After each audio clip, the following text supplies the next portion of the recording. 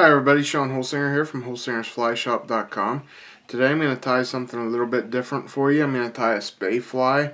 Um, seen this in one of my magazines that I subscribe to. Just thought it looked really cool and fairly easy to tie and something you guys might be able to do. So figured I'd give it a give it a whirl and let you see how to do it. Uh, it's called the Super Zug. It's by Jeff Wimer.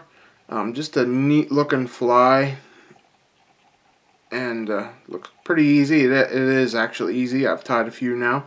Um, I'm tying this on a size 8 Spey hook using black thread. First thing I'm going to put on is a, a, peacock sword.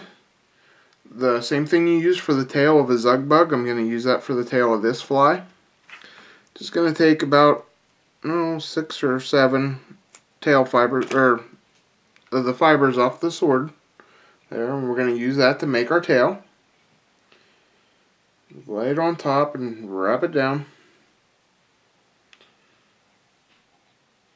So give it a nice blue, blue-green, aqua-green colored tail.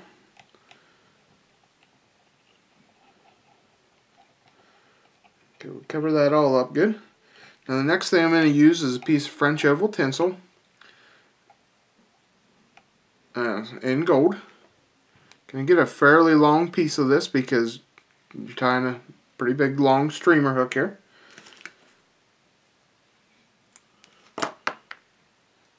And we're gonna tie that in.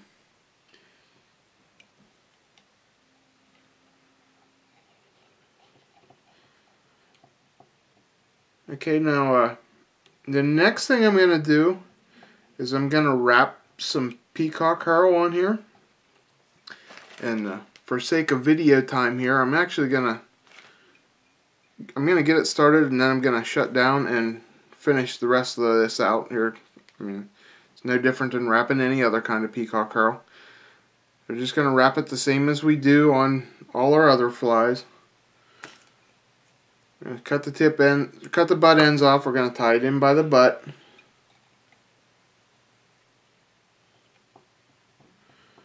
Wrap it back here to our tail. Now we're going to wrap this around the thread to strengthen it.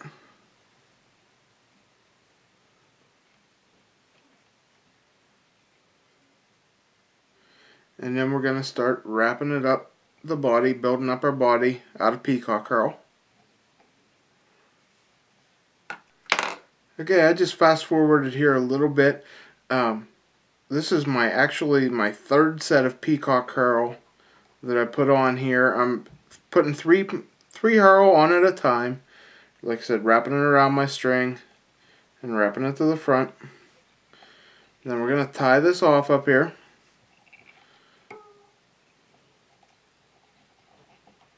Leaving lots of room for my head. Okay, now we're going to bring our gold French oval tinsel up. Put a nice rib on it. Space them out there a little bit.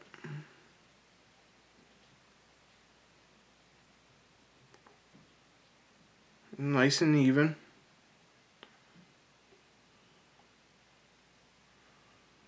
Okay, bring this up here to the front, tie it off.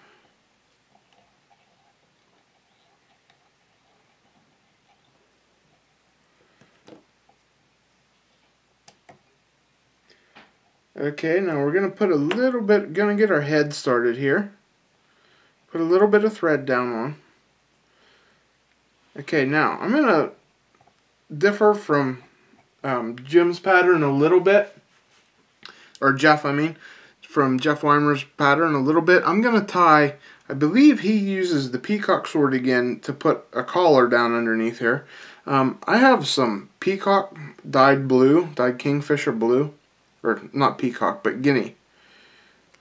And uh, I've tried it on this. I really like the looks of it, how it stands out. Uh, but the difference the way I'm going to tie this different is I'm going to palmer it on, but I'm going to pull half of the half of the fibers off. So you're just going to have half of the fibers on the feather. And then we're going to pull the tips back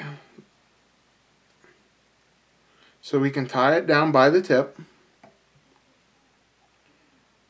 We're going to tie it with the tip to the front.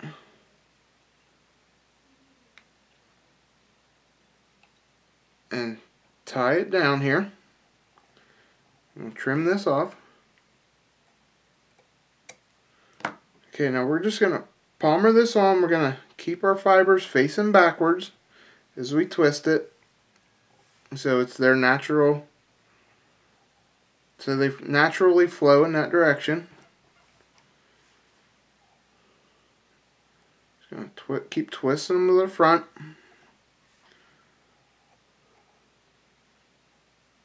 And spreading them out so they'll wrap the whole way around. Get a nice even blue color the whole way around there. Um, the pat he didn't show the pattern. He didn't list the material, so I just kind of had to figure out what I had and compare what I had with what it looked like in his picture. And uh, this is the way I tied it the first before I realized that he was using a peacock sword on the bottom, and I kind of like the looks of it better. Okay, now the next thing I'm going to do, and I'm not sure what he actually uses on his pattern, but I'm going to use a de saddle feather in uh, speckled fluorescent green.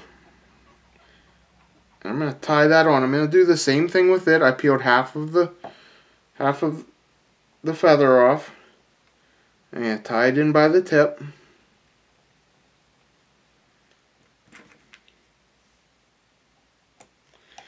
And then I'm just going to, oops, I have to retie that in. I cut it a little too close.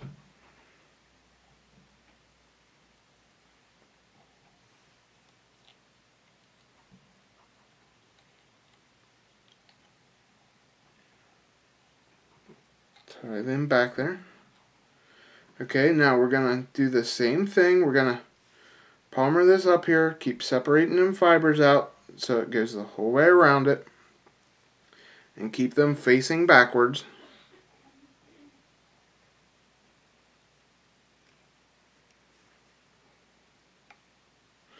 This looks like it would be a, a great steelhead fly. I haven't fished it.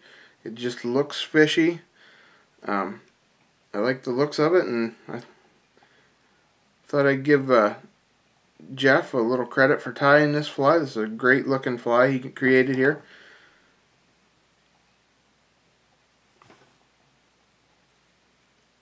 And then we're just going to tie this off.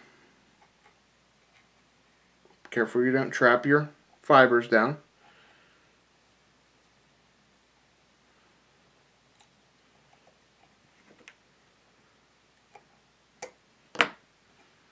Okay, then we're just going to dress it up a little bit here, make sure it's sure all the feathers look good on it.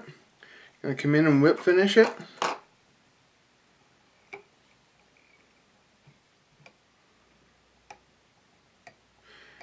And this is actually a pretty simple Spey fly. Uh, a nice looking, you know, salmon style fly. It's easy to tie, not a lot of the full dress kind of kind of fly you're used to in the in the salmon style fly, but it makes a really pretty fly. Uh, I really hope you enjoyed this fly, like the looks of it as much as I do. Um, give it a try. Try. I would suggest trying it on your steelhead streams.